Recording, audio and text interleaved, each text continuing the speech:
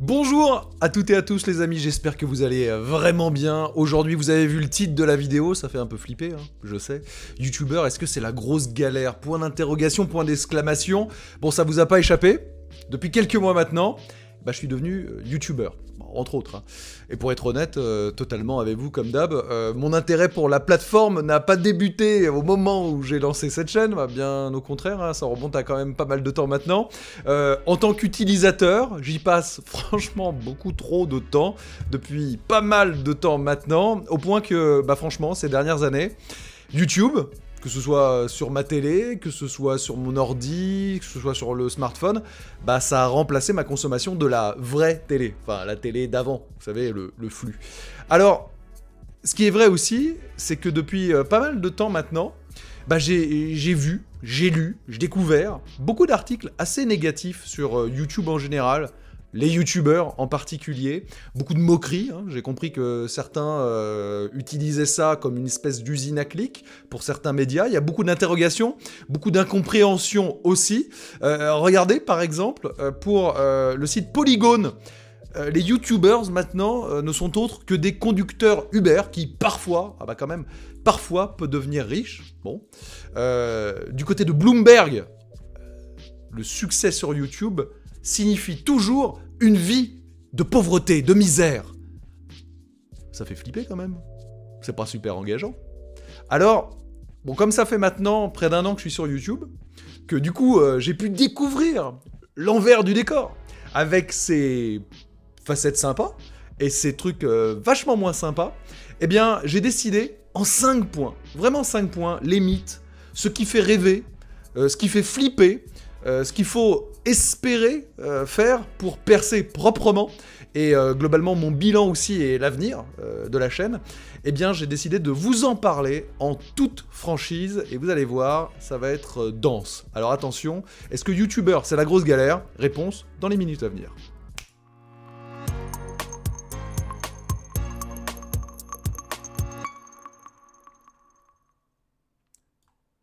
Bon, tout d'abord, est-ce que vous me permettez une petite question comme ça qui a l'air bébête, hein, euh, mais est-ce que vous connaissez vraiment YouTube? Parce que moi, euh, en fait, c'était pas mon cas. Je savais que YouTube c'était une énorme plateforme avec des millions, des milliards de vidéos, etc. Mais si je vous dis que chaque minute qui passe là, eh bien c'est 400 heures de programmes qui sont uploadés dans le monde par les différents créateurs de contenu comme moi, je vais y contribuer. C'est quand même 400 heures, une minute, et ça ne cesse de progresser, c'est quand même un truc de fou, que chaque jour, euh, vous, moi, enfin tous ceux qui regardent des vidéos, on génère quand même 115 000 années de visionnage par jour. C'est un truc de malade. Euh, et puis que finalement, YouTube, c'est un réseau social, dans l'absolu, et que c'est le deuxième plus gros au monde, je vais vigorer ma, grosse tête, voilà, euh, juste derrière Facebook, avec quand même 1,65 pardon, milliards d'utilisateurs actifs mensuels. C'est, je ne sais pas si vous vous rendez compte, c'est colossal. On parle beaucoup de Twitter, de Snapchat, c'est super tendance, de Instagram. Eh bien, regardez un peu. Snapchat, c'est que 250 millions d'utilisateurs actifs mensuels. Euh, Twitter, 328 millions. Instagram, 700 millions. YouTube, 1,65, décidément, milliards. C'est phénoménal. Aujourd'hui, euh, c'est un truc de fou ce qui est devenu YouTube. Et c'est probablement pas étranger, ce succès, au fait que bah, de plus en plus, les médias s'en emparent, et pas forcément pour faire des choses très quali. Je vais y revenir dans quelques instants. Rien qu'en France, c'est 37 millions de Français qui vont euh, sur YouTube chaque mois, ce qui veut dire que c'est plus de 80% de la population active d'Internet. Bref, on y va tous. Alors, ça c'était pour poser euh, les enjeux, mais quand même la question que je posais, euh, l'interrogation, voire l'affirmation, être youtubeur c'est la misère, on va écarter tout de suite de l'équation bah, ceux pour qui ça fonctionne, ou ça a fonctionné, euh, les Cypriens, les Squeezie, les Norman, les Nota Bene, les y qui sont, à mon sens, hein, des gens qui ont construit vraiment quelque chose d'extrêmement qualitatif. On aime ou on n'aime pas, là n'est pas la question. Ils sont là depuis des années, ils ont construit, bâti leur succès sur vraiment des contenus qu'on ne trouvait pas ailleurs, et en cela, bah franchement, ils se sont fait seuls, et moi je tiens à leur dire bravo, parce que je peux vous assurer, et vous allez le comprendre dans cette vidéo, c'est pas toujours simple. Euh, Il y a beaucoup de négativité ces derniers temps autour de YouTube et des YouTubeurs. Euh, ce qui est sûr, c'est que quand vous êtes YouTubeur, pas quand vous êtes dans un grand truc, etc., mais quand vous êtes un YouTubeur normal, genre moi, euh, moyen, euh, petit, qui commence, bah vous êtes seul. Vous n'avez pas de structure derrière vous qui peut vous épauler. Vous, euh, devez au quotidien bah, tout gérer. C'est-à-dire, vous devez réfléchir à la vidéo que vous voulez créer, vous devez réaliser un peu votre setup, récupérer un peu les images, les capturer s'il s'agit de jeux vidéo, créer votre miniature, prendre la photo, faire le montage, etc.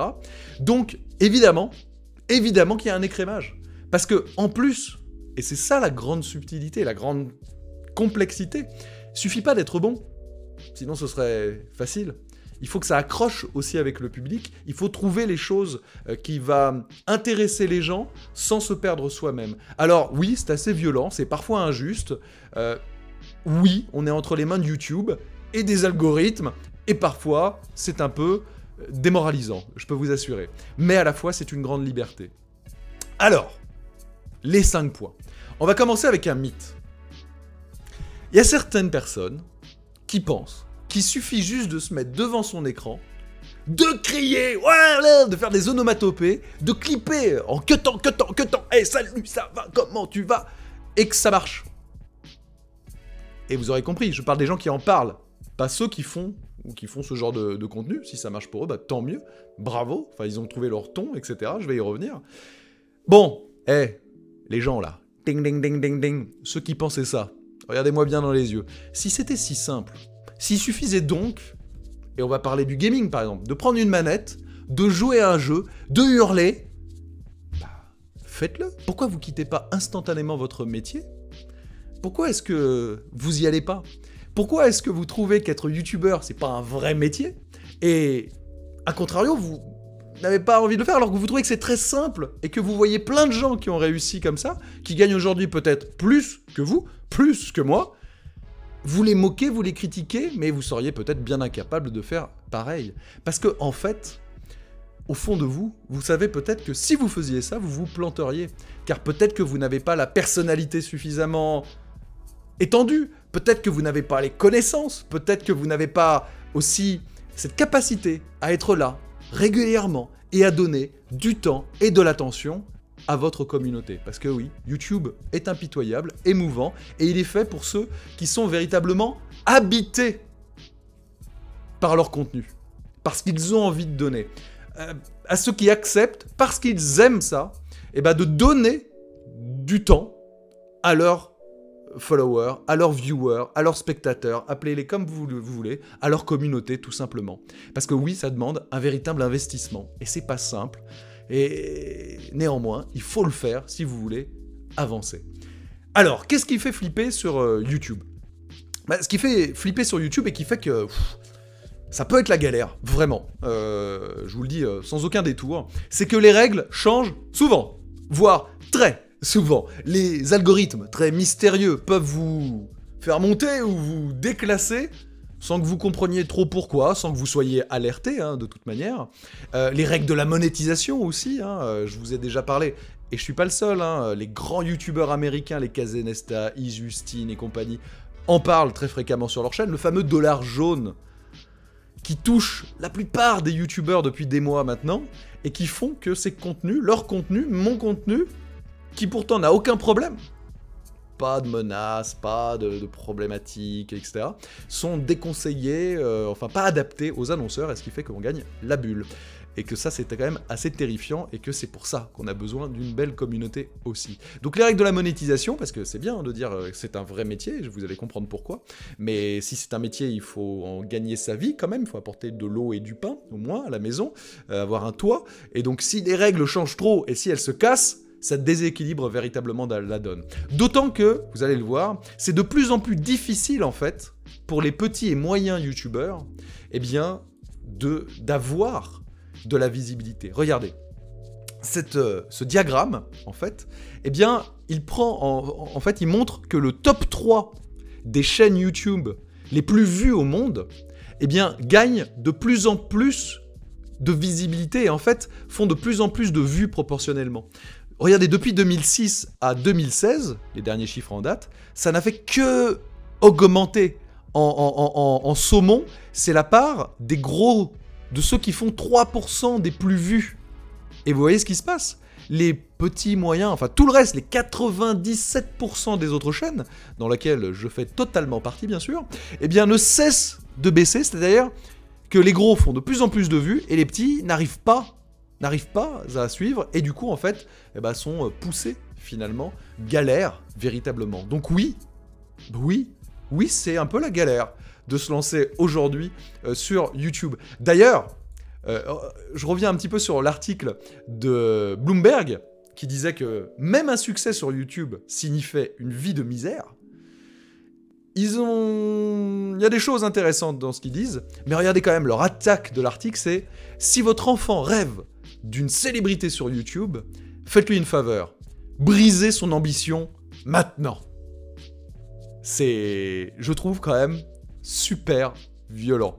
Parce que si vous faites, si vous vous lancez dans une aventure YouTube, clairement, ça va vous demander d'y aller à fond.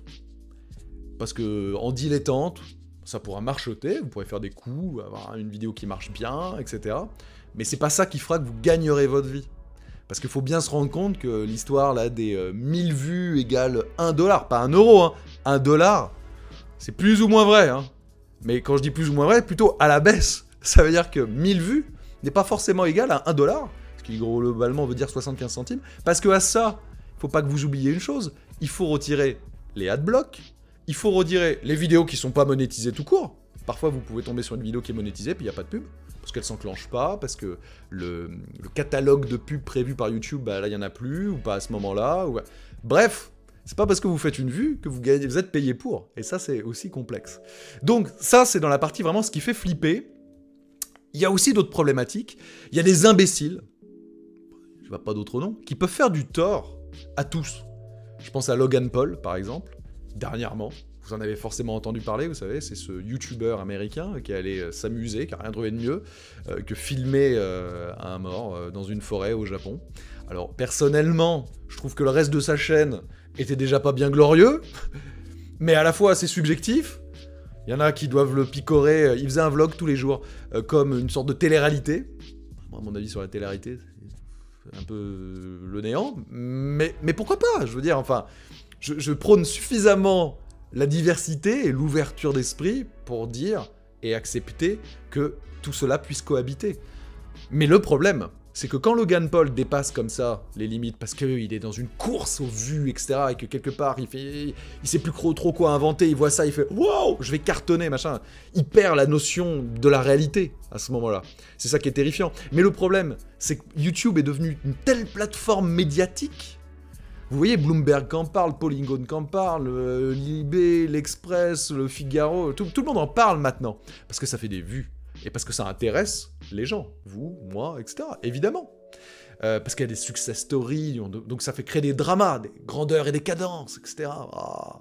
la presse vit depuis sa création là-dessus, donc on peut pas le jeter la, la pierre. Après, c'est parfois traité, comme souvent, malheureusement, avec des raccourcis un peu étonnants, mais c'est comme ça, bon. Euh, le problème, c'est que derrière, il y a des annonceurs qui mettent la pression sur YouTube, voire se désolidarisent, retirent leur pub, et quand ça se passe comme ça, c'est tous les YouTubeurs, petits, moyens, gros, qui se font taper dessus. Et évidemment, les premiers qui en pâtissent, bah, c'est les moyens et petits. Les gros, ils sont très gros, bon, de toute manière, ils ont beaucoup d'argent qui attend, puis ils continuent, etc. Il y a des partenariats à droite à gauche qui font que même sans la, les revenus publicitaires de YouTube ou un peu baissé pendant un temps, ça va aller. Mais les moyens, les petits, bah eux, directement, ils sont impactés. Je vous en ai parlé en vraiment en totale transparence, euh, je crois, au moment des 100 000 abonnés, etc. Et une fois de plus, vraiment, je vous en remercie. Bah, Bloomberg, quand ils disent même un succès sur YouTube signifie une vie de misère, par exemple, il faudrait pas que vous vous imaginiez qu'arriver à 100 000 abonnés faire 12 euh, millions de vues en 10 mois, ce qui est pour moi hein, un truc de malade, je m'y attendais pas du tout et vous êtes incroyable. Mais ça veut pas du tout dire que je suis devenu millionnaire ou quoi que ce soit. Bah non, parce que le début d'année, par exemple, ça a été un bain de sang absolu pour la monétisation. C'est-à-dire que les vidéos, elles devaient gagner 2-3 dollars, euh, certaines un peu plus, puis beaucoup moins. Enfin bref, c'est l'angoisse quoi. Euh, donc, ça, ça fait flipper.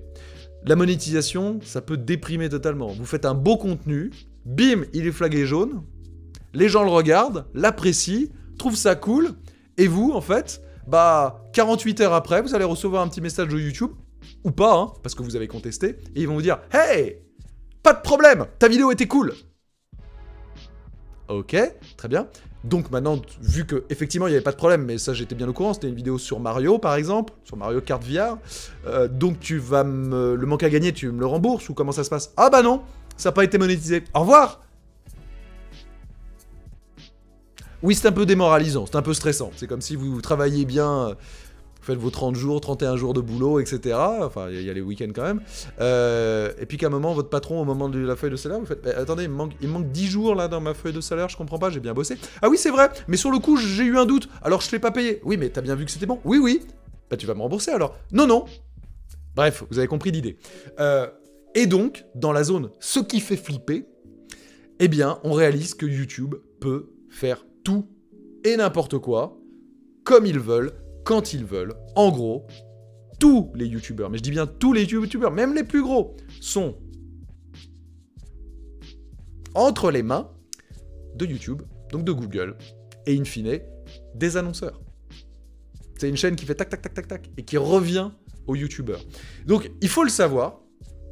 Et mon conseil serait de ne pas mettre tous vos œufs dans le même panier, en tout cas, car bah, si demain, je sais pas, d'avenir, imaginons, prenons un cas euh, un peu terrible, si YouTube disait, bah je veux plus de vidéo gaming, parce que ça me pose des problèmes, etc.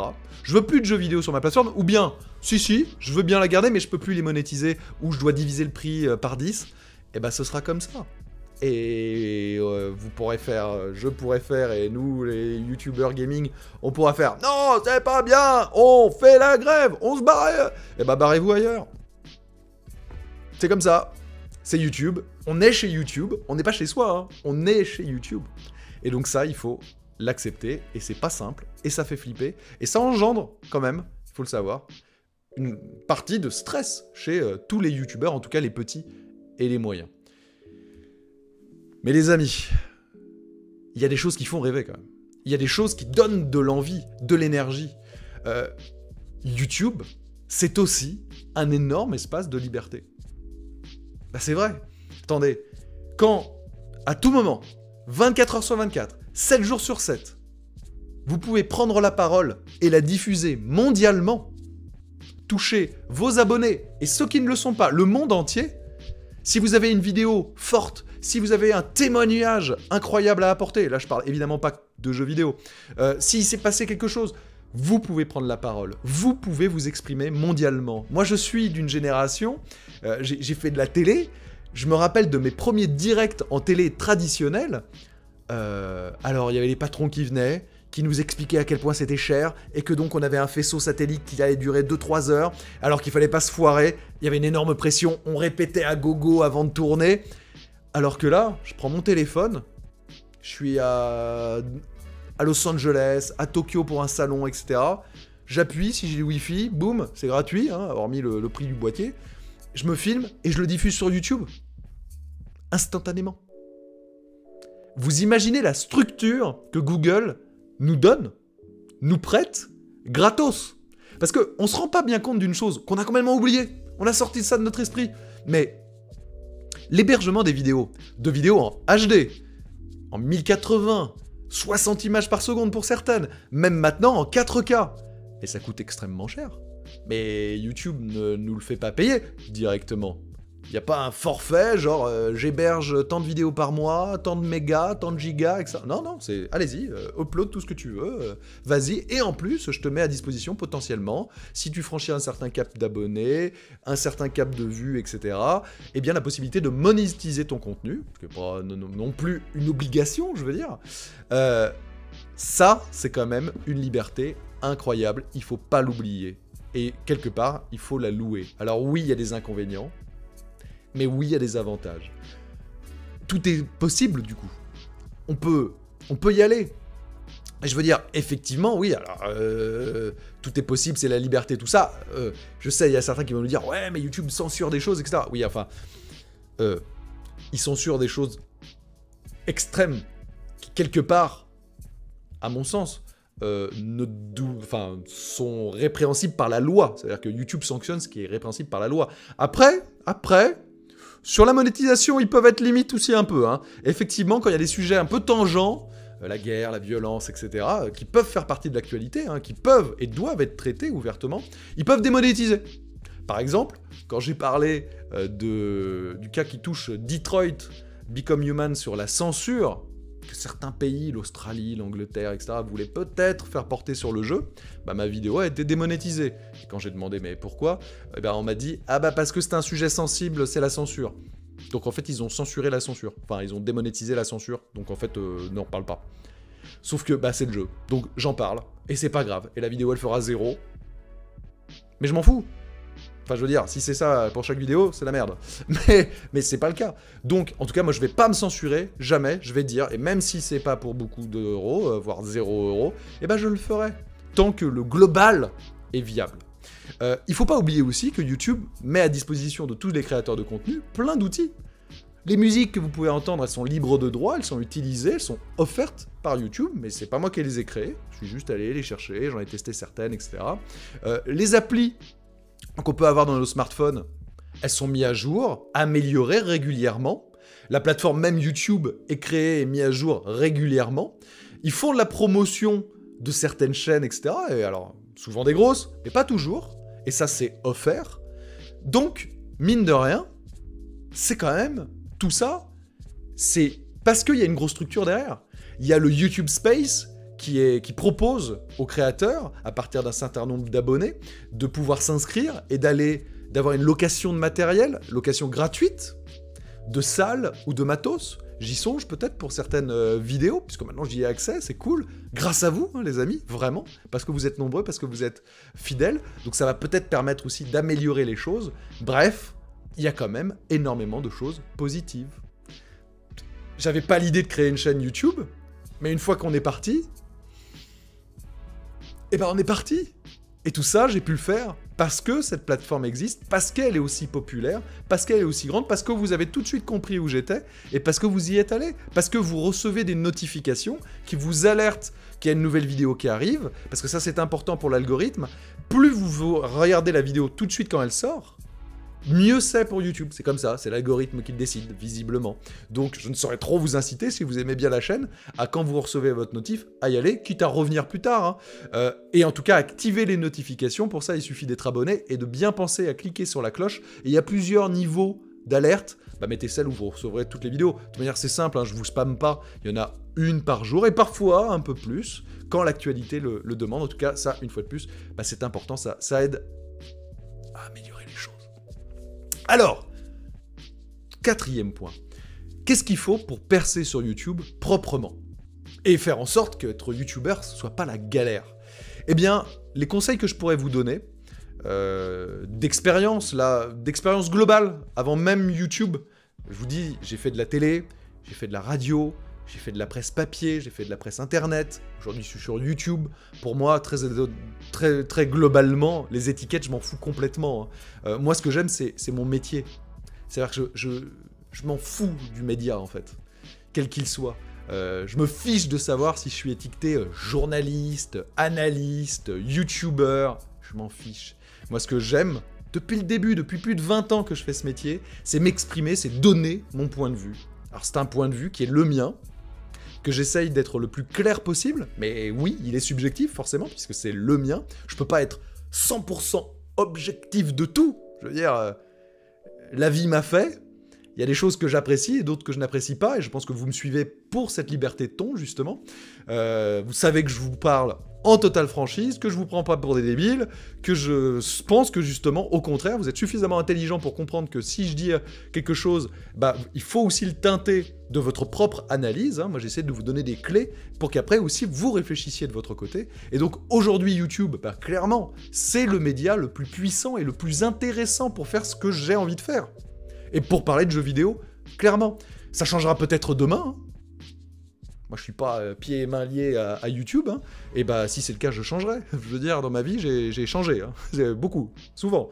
Je m'en fiche. En plus, j'aime ça. Euh, j'aime apprendre. Faut pas avoir peur de bouger. Faut pas avoir peur de se remettre en question. Il faut pas avoir peur de ça. La chose la plus importante, c'est la clé, c'est le lien entre la communauté et le créateur de contenu, entre vous et moi.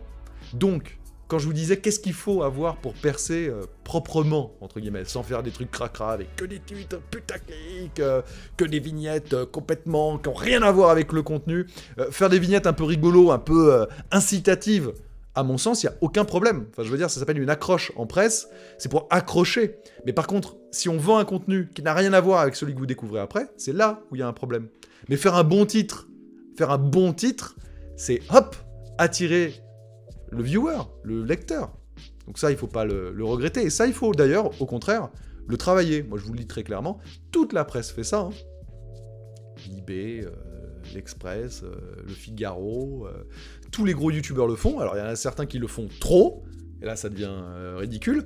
Et il y en a qui le font à la bonne mesure, c'est-à-dire, hein Qu'est-ce que c'est que cette histoire? Un titre un peu accrocheur. Tu rentres à l'intérieur de la vidéo et là tu découvres. Ah d'accord. Hmm, ok, je comprends et tout. Par exemple, je vous en ai fait un là il y a quelques jours. Cette vidéo risque de changer votre regard sur le jeu vidéo.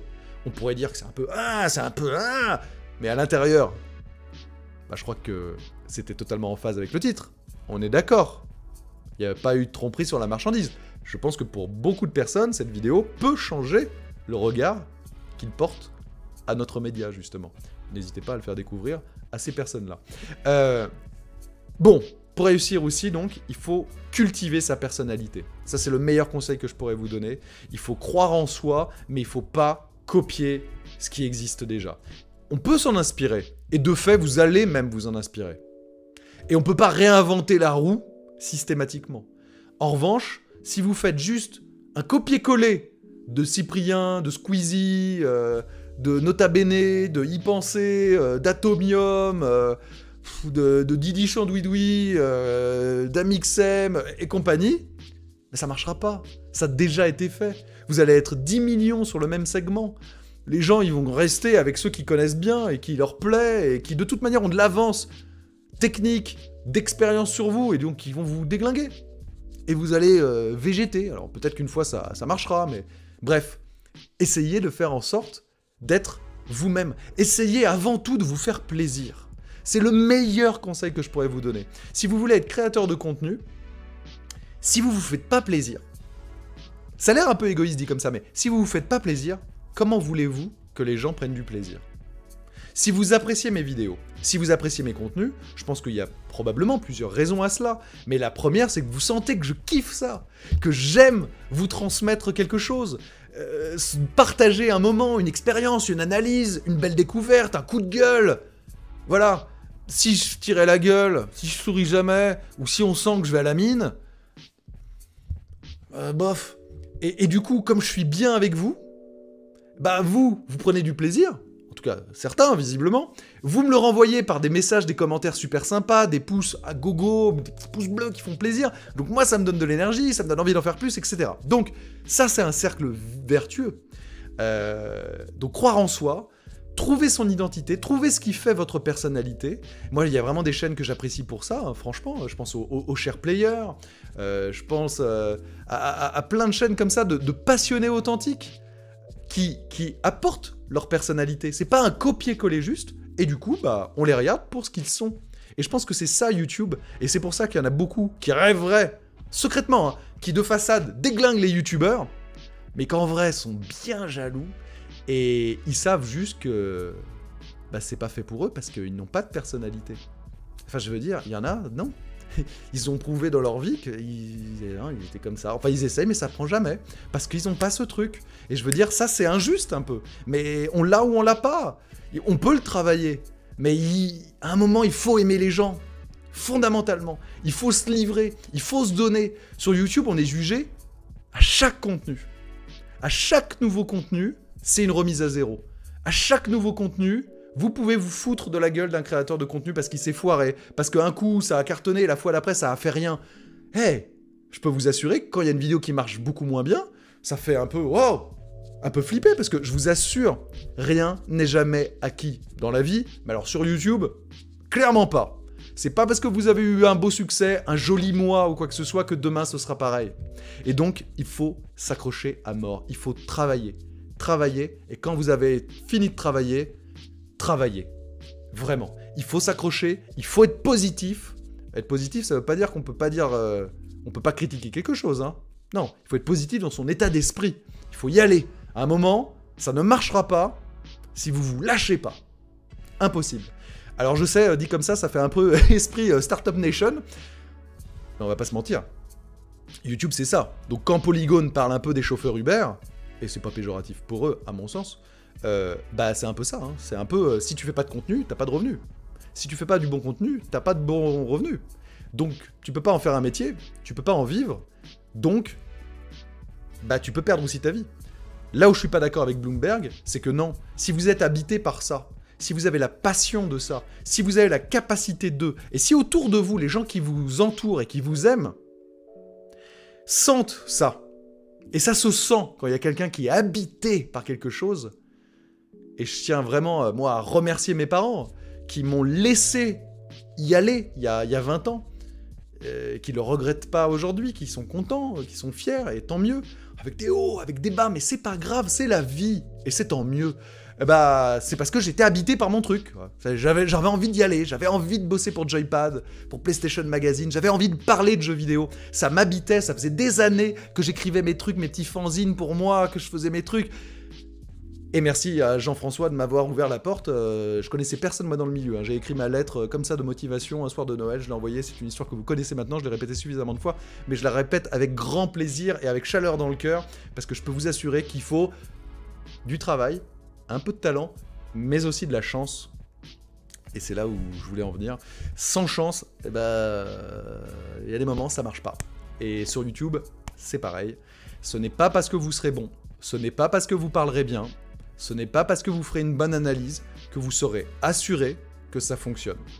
Je sais, c'est dur, c'est injuste, c'est pas facile à entendre, euh, mais c'est comme ça, c'est la vie.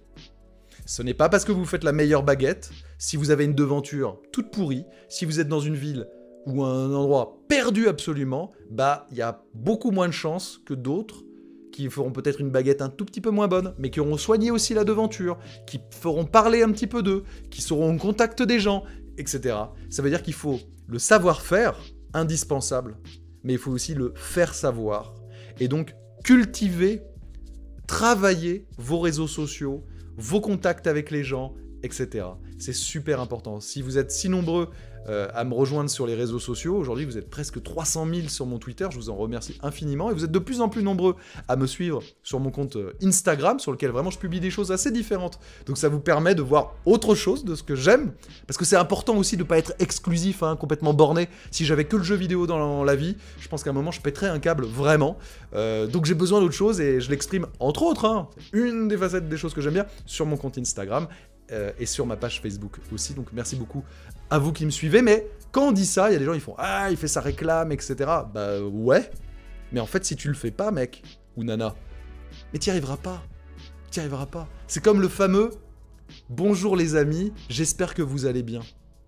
Bah moi je vous en parle parce que je le fais, comme 10 milliards de youtubeurs, et j'ai parlé avec euh, des gros youtubeurs de cela.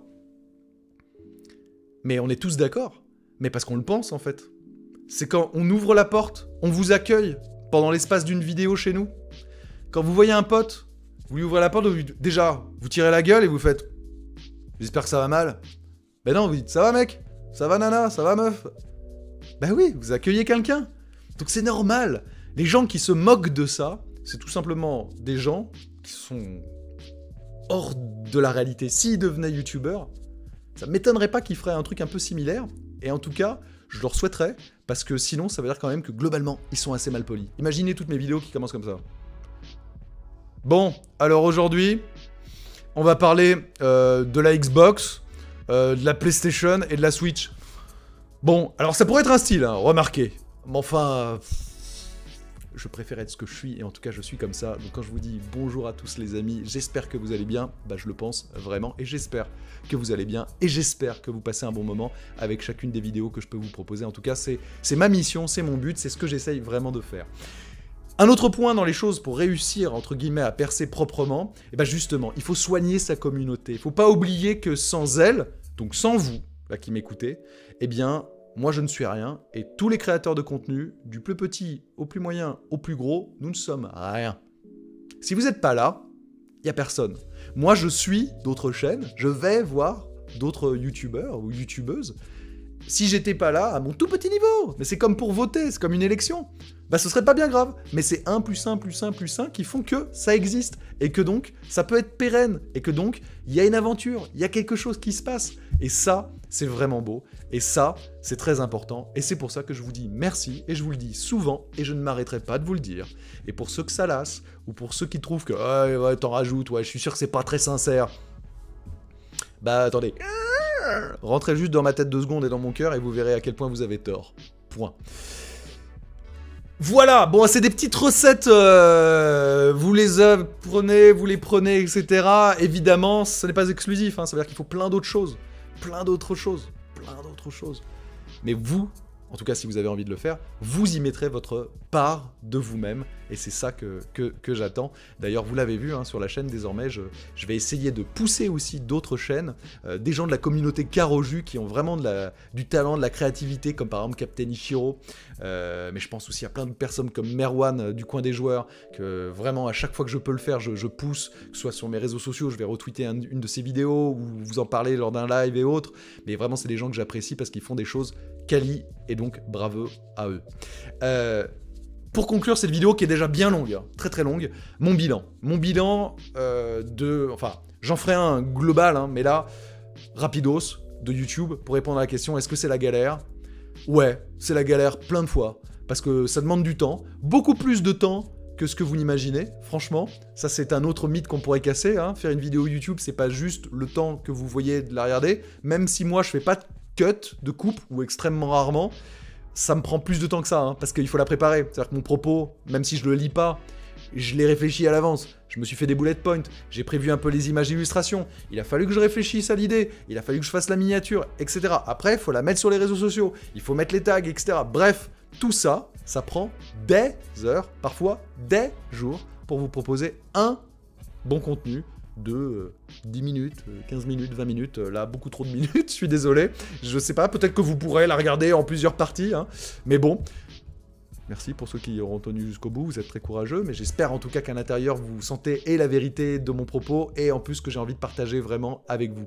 Euh, donc pour ma part, un an après m'être lancé sur YouTube, bah moi je suis vraiment heureux parce que même si c'est pas toujours facile, franchement j'ai beaucoup appris, appris, appris. J'ai rencontré énormément de personnes passionnantes. J'ai vraiment eu la chance euh, de recevoir un accueil extrêmement chaleureux, ça aussi je m'y attendais pas, de la part de l'ensemble des youtubeurs que j'ai pu rencontrer, euh, petits, moyens, très gros, Vraiment, vous reconnaîtrez, merci beaucoup à vous euh, de m'avoir accepté dans cette communauté de youtubeurs.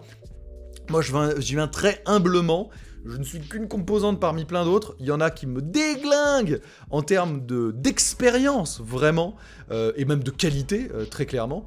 Euh, et vraiment que certains d'entre vous m'aient aussi fait part de leurs euh, ressentis, de leurs expériences, de leurs craintes, des mauvais moments par lesquels ils sont passés, les très bons moments par lesquels ils sont, etc.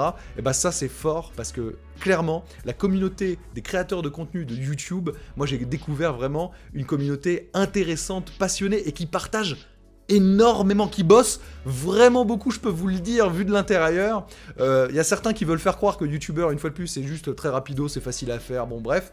Bah, je crois qu'ils sont juste pas très conscients de ce qu'est la réalité en tout cas.